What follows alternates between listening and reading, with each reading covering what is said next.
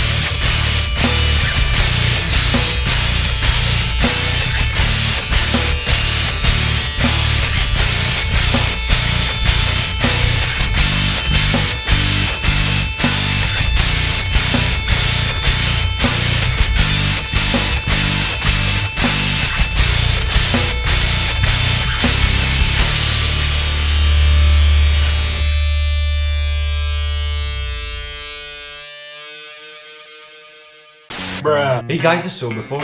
Ah, braccio. Okay, so without being said... Said... Uh, use the one up, octave, octave. Any other part... Uh, I go... I, it's a very, very interesting... I really... I really... Ah! Uh,